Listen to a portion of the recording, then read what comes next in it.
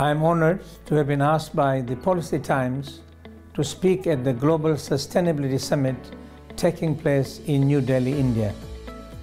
I shall be speaking on how we can help build on our blue and green ecosystems whilst helping to build a globally sustainable model delivering zero carbon economy using recycling and circular economies. Summits like this and many more will go a long way in accelerating our march to meet United Nations Sustainable Goals 2030 and zero carbon economies by 2050. Please join me and several eminent international speakers on the 4th of June helping to meet climate change goals. Thank you.